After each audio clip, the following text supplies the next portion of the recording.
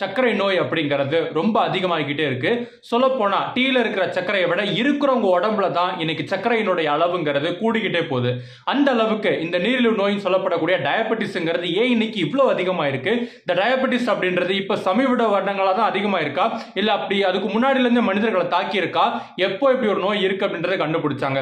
அதே மாதிரி இந்த டயபெட்டிஸ் நோயை சொல்லி நம்மளை எப்படியெல்லாம் ஏமாத்துறாங்க? இப்படி டயபெட்டிஸ் நோயை சுற்றி இருக்கக்கூடிய பல கோடிக்கணக்கான ரூபாய் மதிப்புள்ள வர்த்தகம் என்ன? இது எல்லாத்தையுமே டீட்டெயிலா இன்னைக்கு நம்ம பார்க்கலாம். வாங்க. வீட்டுக்கு வீடு வாசப்படிங்கிற மாதிரி இன்னைக்கு வீட்டுக்கு ஒருத்தர் சர்க்கரை நோயாளியா இருக்காங்க. சொல்ல போனா இந்தியாவினுடைய தேசிய நோய் அப்படின்னா சர்க்கரை நோய்னு அறிவிச்சிடலாம் போல அந்த அளவுக்கு சர்க்கரை நோயாளிகள் இன்னைக்கு இந்தியாவில் அதிகமாக இருக்காங்க. உலகத்திலேயே அதிகமான அளவுக்கு சர்க்கரை நோயாளிகள் இருக்கக்கூடிய நாடா ரெண்டாவது இடத்துல இருக்கு இந்தியா.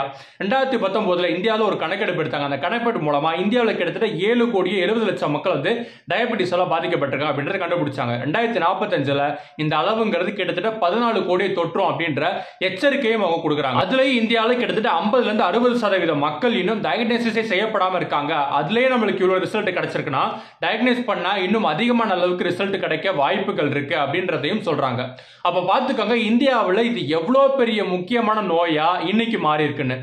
டயபெட்டிஸுங்கிறது சர்க்கரையினுடைய அளவை சரியா வச்சுக்கிட்டோம்னா நம்மளால தப்பிச்சிட முடியும் அப்படின்னு நம்ம நினைப்போம். ஆனா அது அவ்வளவு ஈஸி இல்ல.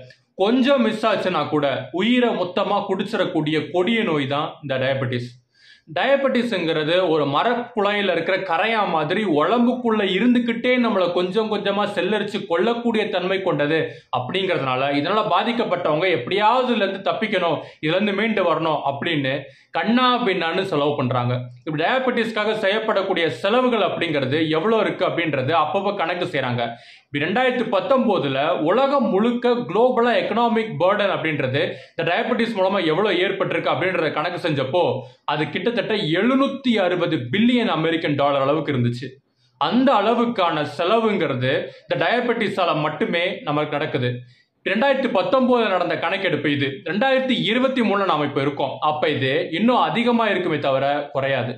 இந்த டயபெட்டிஸ் நோயெல்லாம் பாதிக்கப்பட்டதால ஹாஸ்பிட்டலைசேஷன் செலவுகள் இன்சுலினுக்கான செலவுகள் அதுக்கான மாத்திரைக்கான செலவுகள் ஸ்கேனு பிளட் டெஸ்ட்னு ஏகப்பட்ட செலவுகள் எல்லாமே இதுக்குள்ளே அடக்கின ஒன்றா இருக்குது இந்த நோயெல்லாம் மட்டுமே பாதிப்படைஞ்சு போய் அட்மிட் ஆனவங்களும் ஒரு செலவுனா வேறு ஏதாவது ஒரு காம்ப்ளிகேஷனோடு போய் அட்மிட் ஆனவங்கன்னா அதில் இருந்து அவங்கள மீட்டு கொண்டு வரது அப்படின்றது இன்னும் டஃப்பான ஒன்று இதுக்குன்னா ஆகக்கூடிய செலவுகள் அப்படின்றது நம்மளால யோசிச்சே பார்க்க முடியாத ஒன்று அதில் இன்னைக்கு ஹாஸ்பிட்டலைசேஷன் காஸ்ட் எல்லாம் எங்கேயோ போய்கிட்டு இருக்கு. உடம்பு சரியில்லை ஏதாச்சும் ஒரு சர்ஜரின்னு சொல்லி ஹாஸ்பிட்டல் அட்மிட் ஆனோம்னு வச்சுக்கோங்க.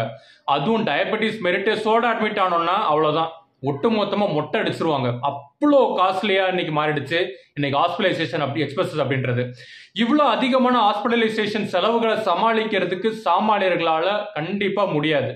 அதனால் ஹாஸ்பிட்டல் போக நினச்சாலே ஒரு பதட்டம்ன்றது தானாக வந்துடும் இதை எப்படி நம்மளால் சமாளிக்க முடியும்னா அதுக்கு தான் இருக்குது ஹெல்த் இன்சூரன்ஸ் இந்த ஹெல்த் இன்சூரன்ஸ்னா ஒன்றும் கிடையாது. ஏதாச்சும் உடம்பு சரியில்லைனா நம்மளை ஹாஸ்பிட்டல் அட்மிட் ஆகிறோம்னா ஹாஸ்பிட்டல் செலவுகள் ஒத்து மொத்தத்தையும் பார்த்துக்கக்கூடிய கம்ப்ளீட் கவரேஜ் தரக்கூடிய இன்சூரன்ஸ் பிளான்ஸ் தான் இந்த ஹெல்த் இன்சூரன்ஸ் அப்படின்றது.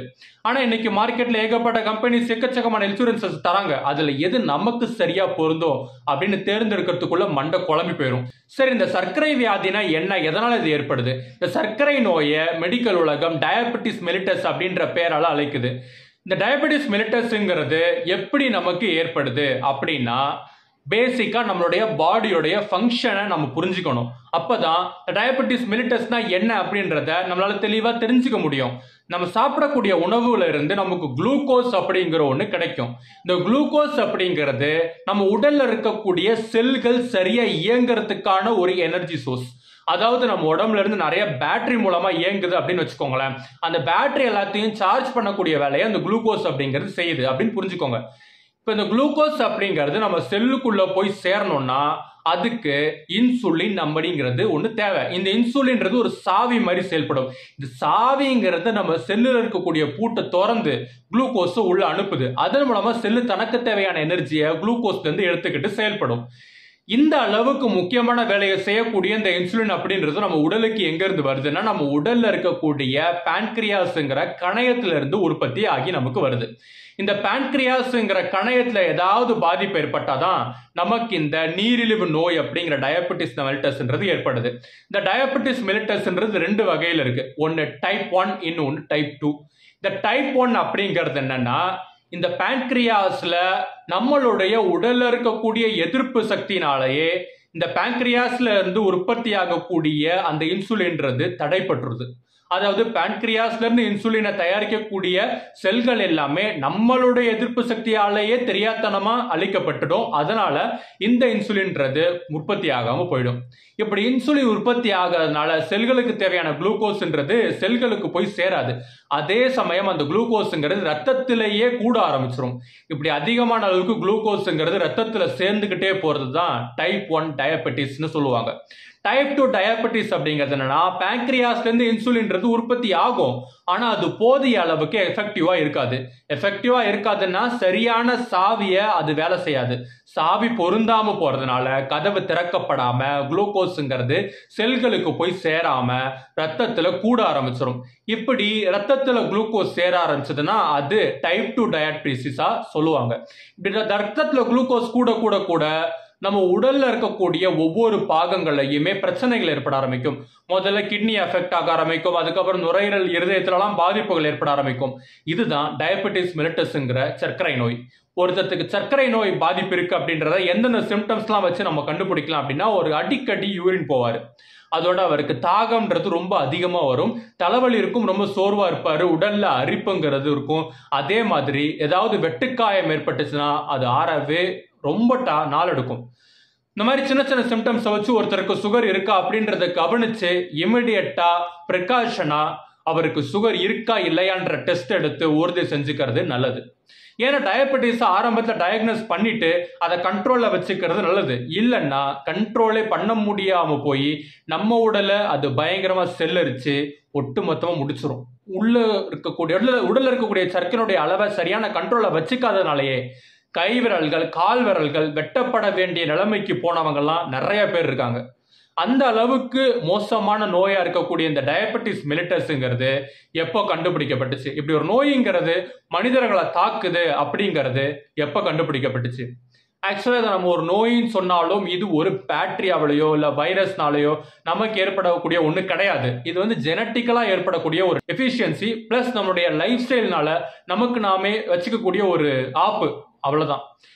இந்த டயபெட்டிஸ் மிலிட்டஸ் அப்படிங்கிறது இன்னும் இன்னைக்கு இன்னைக்கு நேற்று கிடையாது. கிட்டத்தட்ட மூவாயிரம் நாலாயிரம் வருஷங்களுக்கு முன்னாடியே இதை பத்தின ஆராய்ச்சிங்கிறது நடந்துகிட்டு தான் இருக்கு. பண்டைய எகிப்தில் எழுதப்பட்ட ஒரு மருத்துவ குறிப்புகள் கொண்ட பாக்டீரியஸ்க்கு ஏபல் பாக்டீரியஸ் அப்படின்ற பேரு. இதை எழுதப்பட்ட காலகட்டம்ன்றது கிமு ஆயிரத்தி ஐநூத்தி ஐம்பதா இருக்கலாம் அப்படின்னு சொல்றாங்க. இந்த மருத்துவ குறிப்புல நிக்காம ஒருத்தருக்கு அடிக்கடி யூரின் போய்கிட்டே இருந்ததுன்னா அதை எப்படி குணப்படுத்தலாம் அப்படிங்கிற குறிப்புன்றது இருக்கு. இப்படி நிக்காம யூரின் போறது அப்படிங்கிறது டயபெட்டிஸ் மெலிட்டஸனுடைய ஒரு சிம்டமா இருக்கிறதுனால அதை பத்தி தான் இது எழுதப்பட்டிருக்கு அப்படின்றத பல பேருடைய நம்பிக்கையா இருக்கு. ஆனா டயபெட்டிஸை பத்தி தான் அவங்க எழுதியிருக்காங்களா அப்படிங்கறத அவங்களால உறுதியா சொல்ல முடியாது. ஏன்னா நிக்காம யூரின் போறது அப்படின்றது மற்ற பல நோய்களுக்கு கூட காரணமா இருக்கும் அப்படின்றதுனால அதை உறுதியா சொல்ல முடியாது. ஆனா அதே சமயத்துல கிரேக்கர்கள் டயபெட்டிஸை பற்றி ரொம்ப டீட்டெயிலாக ஸ்டடி பண்ணியிருக்காங்க. கிபி இரநூத்தி முப்பது காலகட்டத்தில் அப்பலோனியஸ் அப்படின்னு மிக்ரிஸ் அப்படின்ற ஒரு கிரேக்க ஆய்வாளர் தான் முத முதல்ல டயபெட்டிஸ் அப்படிங்கிற பேரையே அந்த நோய்க்கு வைக்கிறாரு. அதாவது இப்படி டயபெட்டிஸ் அப்படிங்கிற வார்த்தையிலேயே கிரேக்கத்தில் என்ன அர்த்தம்னா பாஸ் த்ரூ அப்படின்னு அர்த்தம். அதாவது போய்கிட்டே இரு அப்படின்றதுக்கான அர்த்தம் தான் இந்த டயபெட்டிஸ் அப்படின்னு இப்படி நிற்காம யூரின் போய்கிட்டே இருக்கு அப்படின்றத குறிக்கிற விதமா டயபெட்டிஸ் அப்படின்ற பேரை முத முதல்ல இதுக்கு வச்சு ஆராய்ச்சி செய்கிறாரு அப்போலோனியஸ். அவர் தான் முத முதல்ல ரொம்ப தெளிவாக அவர் பேஷண்ட்ஸ் எல்லாம் பார்க்கறதுக்கு எப்படி இருக்காங்க எந்த மாதிரியான பாதிப்புகள் அப்படின்றது அவங்களுக்கு இருக்குது இந்த யூரினுங்கிறது அவங்களுக்கு எப்படி போகுது அப்படின்ற டீட்டெயிலான பதிவுகளை தராரு. அவரோட இன்னும் டீட்டெயிலான விளக்கத்தை யார் தராருன்னா அரட்டேரியஸ் ஆஃப் கப்போடோஷியா அப்படிங்கிறவர் இன்னும் டீட்டெயிலா அவருடைய பேஷன்ஸை பத்தி தெளிவா பதிவு செய்யறாரு இப்படி ஒரு நோய்ங்கிறது யாருக்கெல்லாம் ஏற்பட்டிருக்குன்னா குண்டா இருக்கிறவங்களுக்கு தான் அதிகமா ஏற்பட்டிருக்கு அப்படின்ற குறிப்பை அவர் தராரு. அதுக்கப்புறம் ரோமானியர்களும் இந்த சர்க்கரை நோயை பத்தி ரொம்ப டீட்டெயிலா ஆராய்ச்சி பண்றாங்க. குறிப்பா கேலவன்றவர் ரொம்ப தெளிவா இந்த நோய் பத்திய டீட்டெயில தராரு. அதுலயும் இது ரொம்ப அதிகமா இல்ல. ஒரு சில பேர்கிட்ட தான் இது இருக்கு. யாரெல்லாம் ரொம்ப வெயிட் போட்டிருக்காங்களோ அவங்க கிட்ட தான் இந்த நோயினுடைய அறிகுறிகள்ன்றது நமக்கு தென்படுது அப்படின்ற ஒரு குறிப்பையும் அவர் தராரு. ஆனா சொல்லி வச்ச மாதிரி இவங்க எல்லாருமே ஒண்ணுக்கு வச்சு தான் ஆராய்ச்சி பண்ணியிருக்காங்க பின்னாடி பிச்சுக்கிட்டே போறத நம்ம டயரியான்னு சொல்றோம்ல அதே மாதிரி முன்னாடியும் பிச்சுக்கிட்டே போறதுனால இத டயரி ஆஃப் யூரின் அப்படின்ற அர்த்தத்துல கேலன் இதை குறிப்பிடுறாரு. அதே சமயத்துல கிமு ஐந்தாறு நூற்றாண்டுகள்ல வாழ்றதா நம்பப்படக்கூடிய சுசுரோதாவும் சாரதாவும் ஆயுர்வேதிக் மெடிசன்ல இந்த நோயை பத்தின குறிப்புகள் தந்திருக்காங்க அப்படிங்கிற தரவுகள் நமக்கு கிடைக்குது. அதுலயும் தெளிவா ஒல்லியா இருக்கிறவங்களுக்கு இந்த நோயினுடைய பாதிப்புங்கிறது குறைவா தான் இருக்கு. ரொம்ப குண்டா இருக்கிறவங்களுக்கு அதுலயும் ஒரு சில குறிப்பிட்ட குடும்பத்தை சேர்ந்தவங்க கிட்ட மட்டும்தான் இந்த நோய் தென்படுது அப்படின்ற குறிப்புலையும் அவங்க எழுதியிருக்காங்க. அதுலயும் இவங்களுடைய ஒண்ணுக்குங்கிறது ரொம்ப ஸ்வீட்டா இருக்க வாய்ப்பு இருக்கு அப்படிங்கிறதையும் சொல்லியிருக்காங்க. எதை வச்சு இதை சொல்றாங்கன்னா அவங்களுடைய யூரினை சுத்தி எறும்புகளும் தேனீக்களும் ஈக்களும் அதிகமா வட்டம் அடிக்கிறத பார்த்து அந்த யூரின்ல கண்டிப்பா சர்க்கரை இருக்க வாய்ப்பு இருக்கு அப்படிங்கிறத கண்டுபிடிச்சிருக்காங்க. அப்படி கண்டுபிடிச்சதுக்கு அப்புறமா அதுக்கு மதுமேகா அப்படின்ற பேரை கொடுத்து இந்த நோயை அந்த பேரை வச்சு தான் குறிப்பிட்டிருக்காங்க. சித்த மருத்துவத்திலையும் ஆரம்பத்துல இ- இதை பத்தின தேடல்களும் ஆய்வுகளும் தொடர்ந்து நடந்துட்டு இருந்திருக்கு. ஆவாரம் பூவெல்லாம் சாப்பிட்டா இது கட்டுப்படும் அப்படிங்கிற மாதிரியான சொல்யூஷனையும் அவங்க முன் வச்சிருக்காங்க. இங்க மட்டும் இல்ல பண்டைய சீனாவில் கூட இதை பத்தின குறிப்புகள்ன்றது நமக்கு கிடைக்குது. பண்டைய சீன மருத்துவத்துல இந்த நோயை அவங்க அடங்காத தாகம் அப்படின்ற பேர்ல வந்து குறிப்பிடுறாங்க. டயபெட்டிஸ் மெலிட்டஸ்னுடைய இன்னொரு சிம்டம்ன்றது அதிகமாக தாகம் எடுக்கக்கூடிய ஒன்று அப்படின்றதுனால இந்த குறிப்புகள் எல்லாமே டயபெட்டிஸ் மெலிட்டஸ் தான் குறிக்குது அப்படின்றத உறுதியாக சொல்கிறாங்க இவங்க எல்லாருக்கு அப்புறமா இந்த சர்க்கரை நோய் மேலே ரொம்ப தீவிரமான ஆராய்ச்சிங்கிறது எப்போ நிகழ்த்தப்பட்டுச்சுன்னா அரேபிய இஸ்லாமியர்கள் குரானை தவிர்த்து மற்ற பல விஷயங்களையும் படித்து அதிலெல்லாம் ஆராய்ச்சி செஞ்சு ரொம்ப ஞான செழிப்போடு இருந்த கோல்டன் ஏஜ் ஆஃப் இஸ்லாமில் தான் அதிகமான அளவுக்கு இந்த ஆராய்ச்சி நடந்துச்சு. அப்படி ஆராய்ச்சி பண்ணவங்கள முக்கியமானவர் இபன் சிங் தான். கிரேட்கர்கள் ரோமானியர்கள் மாதிரி யாருக்கெல்லாம் அதிகமா இந்த நோய் தாக்குதல் ஏற்படுது அப்படிங்கிற குறிப்போட சேர்த்து இந்த நோய் தாக்குதல்ன்றது எந்த அளவுக்கு ஒவ்வொருத்தருக்கு மாறுபடுது அதனுடைய வீரியம் எந்த அளவுக்கு இருக்கு எப்படியெல்லாம் இதை ட்ரீட் பண்ணலாம் அப்படிங்கிற மாதிரி பல குறிப்புகளை இவன்சனா தராரு. அவரோட சேர்த்து இன்னும் நிறைய அரேபியர்ஸ்னால இதில் நிறைய ஆராய்ச்சி பண்ணி இதுக்கு பல ட்ரீட்மெண்ட் முறைகள் வந்து பரிந்துரைக்கிறாங்க. குறிப்பாக டயட்ரி மெத்தடை குறிப்பிடுறாங்க. அதாவது உணவு பழக்கத்தை மாத்திக்கிறதன் மூலயமா இந்த நோய் ஏற்படாமல் நம்மளால குறைக்க முடியும். அதே மாதிரி இந்த நோயை குணப்படுத்தவும் வாய்ப்பு இருக்கு அப்படின்ற குறிப்புகளை அவங்க தராங்க. இப்படி ஒவ்வொரு கல்ச்சர்ல ஒவ்வொரு விதமா ஆராய்ச்சி நடந்துட்டு இருந்தப்போ மாடர்ன் சயின்ஸ் இந்த டயபெட்டிஸை கையில எடுத்து எப்போ ஆராய்ச்சி செய்தனா அதுக்கு பதினாறாம் நூற்றாண்டு ஆயிடுச்சு. பதினாறாம் நூற்றாண்டுல தான் இது மேல ரொம்ப தெளிவான ஒரு ஆராய்ச்சின்றது நடத்தப்படுது. ஆரம்பத்துல வெஸ்டர்ன் சயின்ஸை சேர்ந்த ஆய்வாளர்கள் இது கிட்னினால ஏற்படக்கூடிய ஒரு நோயா தான் இருக்கு. அதாவது கிட்னில ஏதாவது பாதிப்பு ஏற்பட்டாதான் இந்த நோய் ஏற்படுது அப்படின்னு புரிஞ்சுக்கிட்டாங்க. சொல்லப்போனா பதினாறாம் நூற்றாண்டுல முதல் முதல்ல பாராசெல்சஸ் அப்படின்றவர் கிட்னி ரொம்ப இரிட்டேட் ஆயிடுச்சுன்னா இந்த மாதிரியான பிரச்சனை பண்ணுது அப்படின்ற மாதிரியான ஒரு குறிப்பு தராரு. அதுக்கப்புறமா வந்தவங்களில் ஒவ்வொருத்தருமே இதை பற்றின ஆராய்ச்சிகளை செய்யும் போது இது கிட்னியால் தான் இந்த பாதிப்பு ஏற்படுது அப்படின்ற ஒரு பார்வையோட தான் இந்த ஆராய்ச்சின்றது நடத்தியிருக்காங்க ஆயிரத்தி அறுநூத்தி எழுபத்தி நாலில் தாமஸ் வில்லிஸ் அப்படின்றவர் தான் இந்த டயபெட்டிஸ் அப்படிங்கிறதோட மெலிட்டஸ் அப்படின்ற வார்த்தையை சேர்த்தாரு அப்படின்னு சொல்லுவாங்க. மெல்டஸ் அப்படிங்கிறதுக்கு லத்தீன் மொழியில் ஸ்வீட் ஹனி அப்படின்ற பொருள் தருமா? அந்த அளவுக்கு பொ- பொருளை குறிக்கிற விதமாக தான் இந்த டயபிட்டிஸ் மெல்டஸ் அப்படின்ற பேர் அவர் வச்சிருக்காரு. இந்த சமயத்தில் தான் ஆயிரத்தி எண்ணூத்தி எண்பத்தெட்டுல தாமஸ் காவலி அப்படின்றவர் ஒரு முக்கியமான ஆய்வறிக்கையை வெளியிடுறாரு. அவர்கிட்ட வந்த ஒரு பேஷண்ட்ஸ் இறந்து போனாங்க. அவங்கள அட்டாப்சி பண்ணி பார்த்தப்போ அவங்களுடைய உடல்ல பேங்க்ரியாஸ் தான் பாதிப்படைஞ்சிருக்கு கிட்னி பாதிப்பே அடையல. அதனால பேங்க்ரியாவுடையில ஏற்படக்கூடிய ஏதோ ஒரு பாதிப்பால தான் இந்த நோய் ஏற்படுறதுக்கு வாய்ப்புகள் இருக்கு அப்படின்ற மாதிரி ஒரு ஐடியாவை தராரு. அப்பதான் எல்லாரும் இந்த கிட்னி பின்னாடி போறதை விட்டுட்டு பேன்கிரியாஸை நோக்கி ஆராய்ச்சியை திருப்ப ஆரம்பிக்கிறாங்க. அந்த ஆராய்ச்சியில எப்போ முக்கியமான மாற்றம் நடக்குதுன்னா ஆயிரத்தி எட்நூத்தி அறுபத்தொம்போது தான். ஆயிரத்தி எட்நூத்தி அறுபத்தொம்போதில் பால் லேங்கர் ஹேன் அப்படின்றவரு இந்த பேங்க்ரியாஸ்ல இருந்து ஏதோ ஒரு திரவம்ன்றது வெளியே வருது.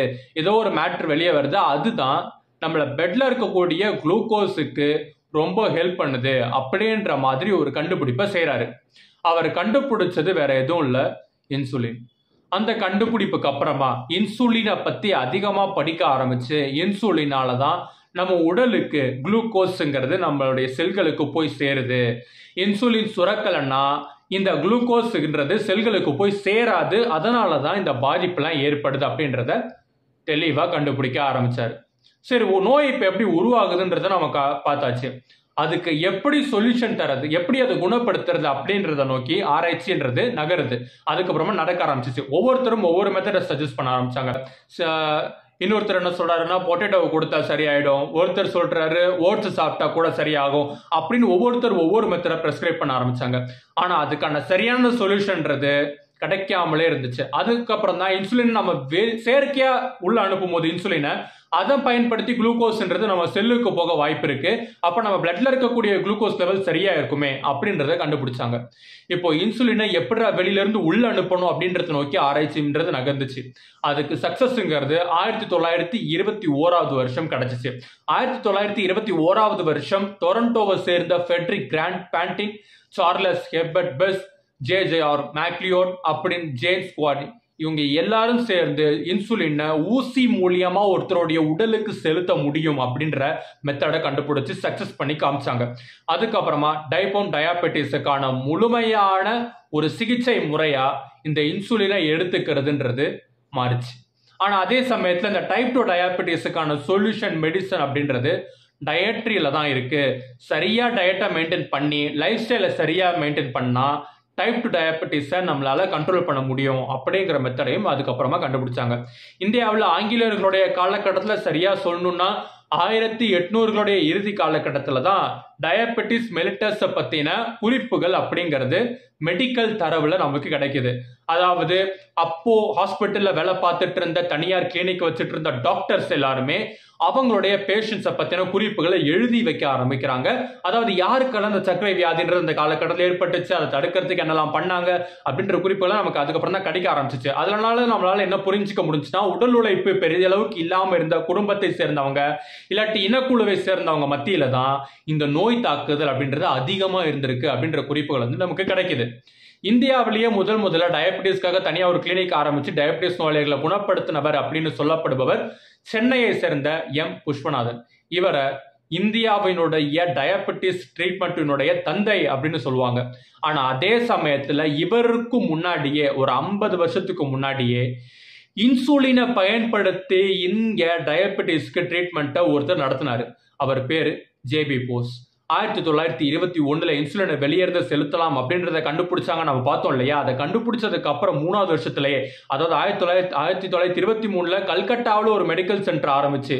டைப் ஒன் டயபெட்டிஸால் பாதிக்கப்பட்ட குழந்தைகளுக்கு இன்சுலினை பயன்படுத்தி ட்ரீட்மெண்ட் தந்திருக்காரு ஜேபி போஸ் அப்போ அவருடைய அவர் ட்ரீட்மெண்ட் செஞ்சால் அந்த குழந்தைகளை ஃபோட்டோகிராஃபி எடுத்து ட்ரீட்மெண்ட்டுக்கு முன் ட்ரீட்மெண்ட்டுக்கு பின் அப்படின்னு பக்காவா பதிவுகளை செஞ்சுக்கிட்டே வந்திருக்காரு.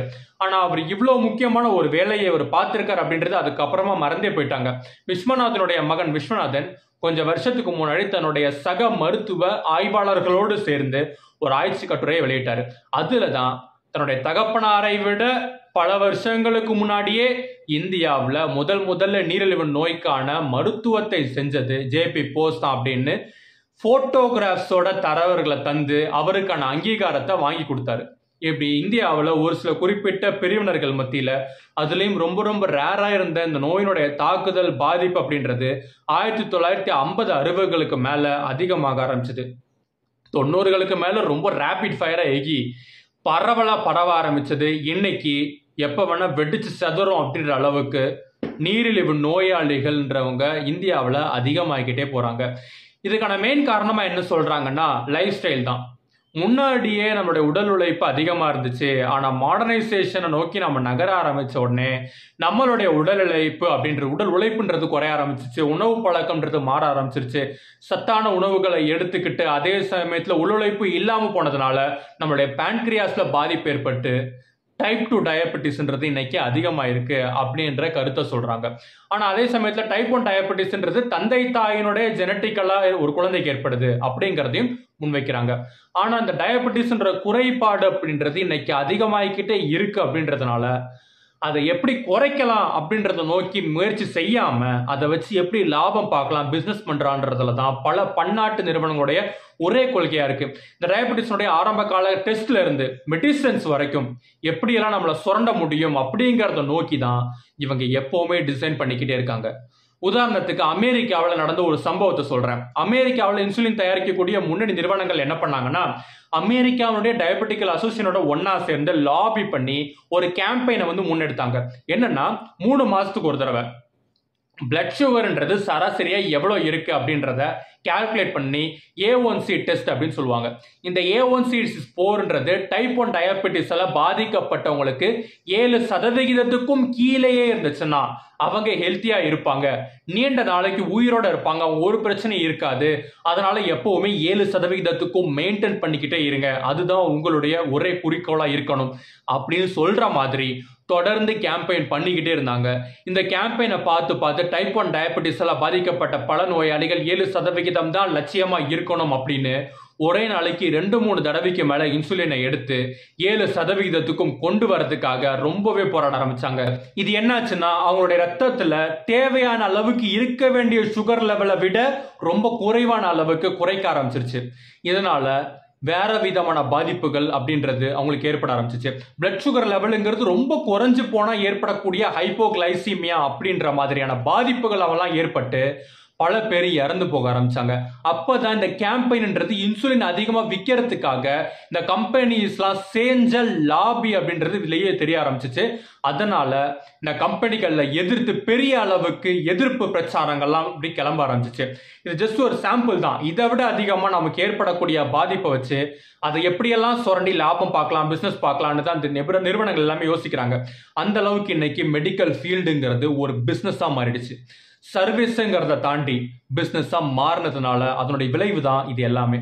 டயபெட்டிஸ் மெலிட்டஸனுடைய இன்டர்நேஷனல் சிம்பிள் எது தெரியுமா? ஓ டக்குன்னு பார்த்தா இது ஜீரோ உங்கள் கையில் இருக்கிற அத்தனை காசையுமே மொத்தமாக புடுங்கி விட்டுட்டு ஜீரோவாக வெளியே இருப்பக்கூடிய ஒன்று தான் இதுன்னு சிம்பாலிக்காக சொல்கிற விதமாக தான் சிம்பிள் இருக்கோ என்னவோ தெரியல. இப்படி எங்கே பார்த்தாலும் கொள்ளையடிக்கிறதுனால தான் நமக்கு ஏற்ற மாதிரியான ஒரு ஹெல்த் இன்சூரன்ஸ் பேக்கேஜ் எடுத்துக்க வேண்டியது ரொம்ப ரொம்ப அவசியம். ஆனால் இந்த இன்சூரன்ஸ் கம்பெனிஸ்லாம் மட்டும் நான் ஒழுங்காக இருக்க போகிறாங்க அவங்க ஏமாற்ற மாட்டாங்களா? அப்படின்னு ஒரு சில பேர் கேட்கலாம்.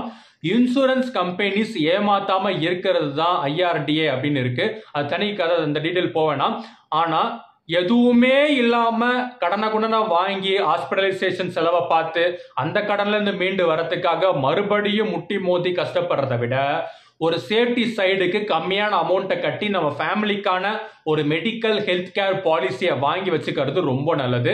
எதுவுமே இல்லாமல் இருக்கிறதுக்கு இது கையில் இருக்கிறது எப்போவுமே யூஸ்ஃபுல்லாக இருக்கும். அஸ் அ ஃப்ரெண்டாக ஒரு பிரதரா நான் சொல்கிறேன் தயவு செஞ்சு ஒரு இன்சூரன்ஸ் ஹெல்த் இன்சூரன்ஸ் பாலிசியை உங்கள் ஃபேமிலிக்கு எடுத்து வச்சுக்கோங்க. அதுவும் எந்த இன்சூரன்ஸ் கம்பெனி கேட்டிங்கன்னா அதை என்னால் சொல்ல முடியாது. அது எல்லாம் எது நல்லது எது பெஸ்ட்டான பேக்கேஜ் அப்படின்னு பார்த்து நீங்கள் எடுத்துக்கோங்க. முடிஞ்ச அளவுக்கு யூஸ் பண்ணிக்கோங்க. ஆக்சுவலாக இந்த டயபெட்டிஸ் நோயோட ஆரம்ப கட்டத்தில் டயக்னோஸ் ஆகி டாக்டரை பார்த்தீங்கன்னா எடுத்தோடனே அவங்க உங்களுக்கு உங்களுக்கு எவிடோஸ் மருந்துங்கள்லாம் தர மாட்டாங்க எடுத்த உடனே அவங்க உங்களுக்கு வந்து டயட் டயட்ரி பிளான்ஸ் டயட்டை தான் வந்து பரிந்துரைப்பாங்க. உங்களோட லைஃப் ஸ்டைலை மாற்றிக்கோங்க எக்ஸசைஸ் பண்ண ஆரம்பிங்க வெயிட்டை குறைங்க சரியான நேரத்துக்கு தூங்குங்க உங்களுடைய ஒர்க் டைமிங்க அதுக்கேற்ற மாதிரி மாற்றிக்கோங்க அப்படிங்கிற மாதிரியான பரிந்துரைகள் தான் அவங்க செய்வாங்க. அதை சரியாக செஞ்சுக்கிட்டே வந்தோம்னா இந்த ட்ரீட்மெண்ட் எல்லாம் இவ்வளோ செலவு பண்ணிக்கிட்டு இவ்வளோ காம்ப்ளிகேட்டாக மாற்றிக்காமல் நம்மளால் ஹெல்த்தியாக இருக்க முடியும். அதை நம்ம தவிர்த்துட்டு இல்லை தவிர்க்க முடியாத சூழல்னால நம்மளுடைய லைஃப் ஸ்டைலும் மாற்றிக்க முடியாமலே இருந்தாலும் இது நடக்கிறதுக்கு வாய்ப்பு இருக்குது அப்போவும் ரொம்ப ப்ரிகாஷியஸாக நம்மளுடைய முன்னெச்சரிக்கை நடவடிக்கைகள்லாம் செஞ்சுக்கிட்டோம்னா ரொம்ப ஹெவியான காம்ப்ளிகேஷன்ஸ்குள்ளே போகாமல் நம்மளை நாமே காப்பாற்றிக்க முடியும். இதுக்கு இவ்வளோ பெரிய வரலாறு இருக்குன்னா இதெல்லாம் தெரியாமல் நம்ம இந்த சர்க்கரை நோய் அப்படிங்கிறது சமீப காரணங்களில் கிளப்பின ஒன்று ஜஸ்டி பசுக்களெல்லாம் இறக்கி விட்டுட்டு கார்ப்பரேட் நிறுவனங்கள்லாம் பெருசாக சம்பாதிக்கிறதுக்காக நம்மளை மேலே ஏவி விட்ட ஒன்று இதெல்லாம் உண்மையே கிடையாது. சர்க்கரை நோயின்றது யாருக்கு ஏற்பட வாய்ப்பே இல்லை அப்படின்லாம் நிறைய பேர் சொல்லிக்கிட்டு தெரியுறாங்க. அந்த சூடோவெல்லாம் சூடு வச்சு விரட்டி விட்டுருங்க. யாரையும் நம்பாதீங்க. இன்னைக்கு நம்மளுக்கு இருக்கக்கூடிய இந்த லைஃப் ஸ்டைலுக்கு டயபிட்டிஸ் மிலிட்டஸ் மாதிரியான நோய்கள் வந்து ஏற்படுறதுக்கு வாய்ப்புகள் இருக்கு. ஆனால் அதை நாம் தவிர்த்துக்கிறதுக்கு நம்மளுடைய உடலை ஹெல்த்தியாக மெயின்டைன் பண்ண வேண்டியது அவசியம். போதிய அளவுக்கான எக்ஸசைஸ் போதிய அளவுக்கான தூக்கம் இது எல்லாத்தையும் மெயின்டைன் பண்ணி உடலை ஆரோக்கியமாக வச்சுக்க வேண்டியது அவசியம். அதுக்கேற்ற மாதிரி நம்ம லைஃப் ஸ்டைலை மாற்றிக்கிட்டோம்னா இந்த நோய்கள் கிட்ட இருந்து நாம தப்பிச்சுக்கலாம். சரி ஓகே இன்னைக்கு டயபெட்டிஸ் மெல்டர்ஸ்னுடைய கம்ப்ளீட் ஹிஸ்டரியை பார்த்தோம். பிடிச்சிருக்கும் நம்பரை பிடிச்சிருந்தனா லைக் பண்ணுங்க. உங்க ஃப்ரெண்ட்ஸ் அண்ட் ஃபேமிலிக்கு ஷேர் பண்ணுங்க. இந்த யூடியூப் பக்கத்துக்கு மறக்காம புதுசாக வந்தீங்கன்னா சப்ஸ்கிரைப் பண்ணுங்க. என்ன வேறு ஏதாவது சோஷியல் மீடியா நீங்கள் ஃபாலோ நினைச்சீங்கன்னா ஃபேஸ்புக் இன்ஸ்டாகிராம் ட்விட்டர் லிங்க்லாம் நான் கீழே டிஸ்கிரிப்ஷனில் எல்லா சோஷியல் மீடியா லிங்க்கும் கொடுத்துருக்கேன் அதுக்குள்ள முடியும் அக்கௌண்ட் நீங்கள் ஃபாலோ பண்ணிக்கலாம். சப்போஸ் வரலைன்னா சோஷியல் மீடியாவில் எல்லாத்துலேயுமே மொய்தீன் கான் என்னோட ஸ்பெல்லிங் போட்டு நீங்கள் சர்ச் பண்ணீங்கன்னா நான் வருவேன். என்னோட அக்கௌண்ட் வரும் நீங்கள் ஃபாலோ பண்ணிக்கலாம்.